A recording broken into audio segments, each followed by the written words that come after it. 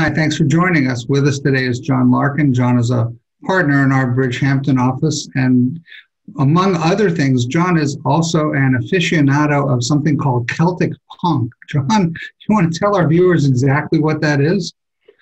Well, I like traditional Irish music, uh, and I also like uh, metal and punk. So when you mix the two of them together, uh, you get Celtic punk. Good, good to know. Anyhow, on to our subject today, which uh, deals more with valuation and, and what things are affecting businesses uh, as a result of the, the pandemic. Uh, how have the events of the past few months changed the, the business valuation process? Obviously, there's a big difference now between valuing somebody or a business on December 31st or maybe February 1st or May 31st right? It's not a lot of time between those dates. But as we all know, a lot of things occurred very quickly around those dates. And a business being valued at the end of the year compared to today could be vastly different uh, depending on what industry they're in. Is there anything that's positively affecting valuation at the moment? Well, again, it probably depends on what your what the, the purpose of the valuation is for, right? I do a lot of trust and estate work. Um, so if there's a, a, positive spin on COVID, if you're valuing a business as of today versus what it was at the end of the year, uh, more than likely the value is going to be a lot lower and will certainly have a potentially a positive effect on the estate. So if you if you if you have a business and you're looking to make transfers, you've got two things going for you. You've got a possible decline in value as well as we're still in an environment where you have a large estate and gift tax exclusion. Would you think, would you be recommending business transfers at the moment?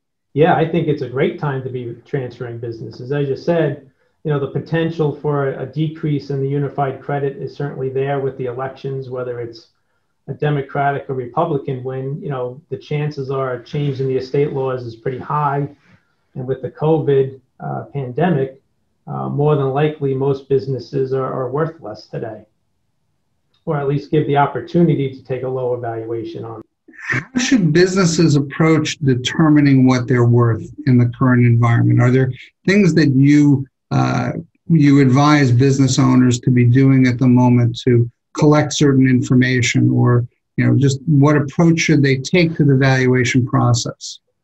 Well, I, I you know, I think with if you're looking to transfer a business either to uh, new owners, whether you're selling the business or, or doing some type of gifting or sale to employees or somebody else, right? It's, it's not a six month process. It's something that really should take uh, a lot of time and thinking to, you know, if, if you're looking to increase the value, um, you don't just wake up today and say, I want to sell my business and make it worth more, right? There's a whole process and a lot of things that can be done to increase the value of the business know, a lot of businesses are geared more towards tax benefits. So they either, you know, defer income or pay more expenses, or they pay a lot of personal expenses, maybe, or, or questionable expenses. You know, the whole idea of trying to maximize the value of a business is, is increasing your earnings, right? Make it more appealing to a buyer. So, uh, John, as my valuation person, I'm going to be looking to you you know, in a few months to value my business. In an interim before that, what can I do to either uh, minimize the adverse effects of the current business environment, or what might I do to my business to try to enhance value uh, so that we can make it as as attractive as possible for a potential buyer?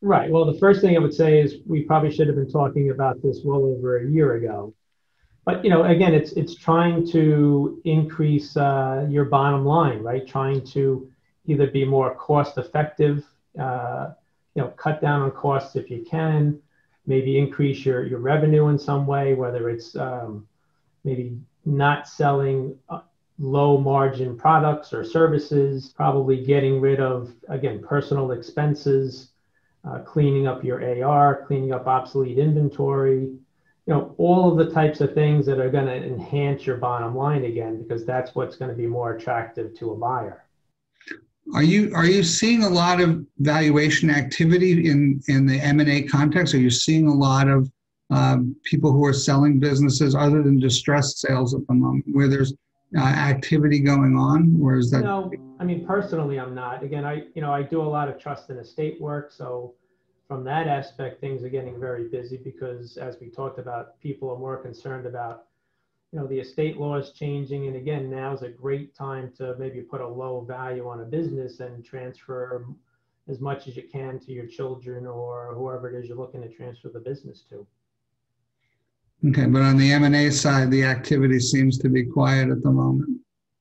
Uh, you know, I, I, from my aspect, yeah, and I think at least probably the reason there is uncertainty, right? Uncertainty, you know, when you're buying a business, unless you really know a lot about that industry or that particular business, uncertainty just really um, does not make for a good environment.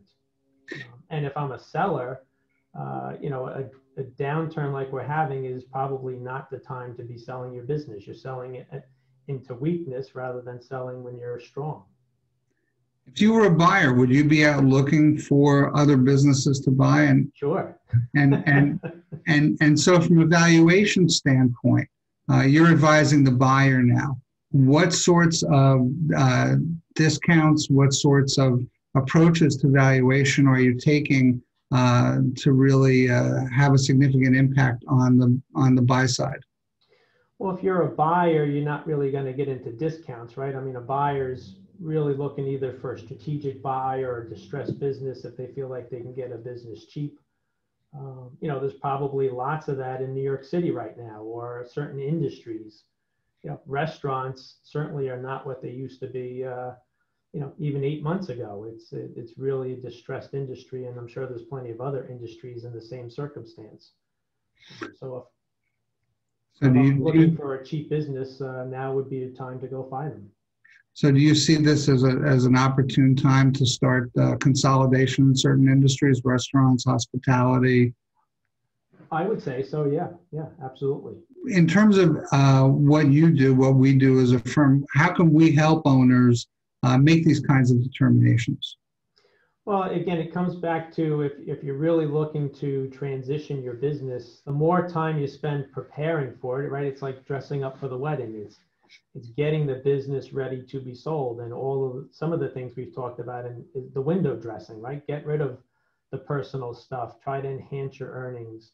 Um, maybe look into different product lines that don't work, or maybe ones that you should be, or you know, again, coming back to COVID is maybe now's the time to cut back on office space or cut back on employees, or maybe there's employees that you can now hire somewhere else across the country because they don't need to be in your physical office now. There's certainly a lot of opportunities there to make your business maybe more efficient, which then makes it more valuable. Any final words you want to share with our viewers? You know, there's also a big tax component to selling your business. And I think that's an important thing that a lot of people don't think about. It's an afterthought. So, how you sell your business, the structure it, it takes on, uh, all affects your decision to sell or transfer the business. There you go. Thanks very much, John. Sure, you're welcome, Mike.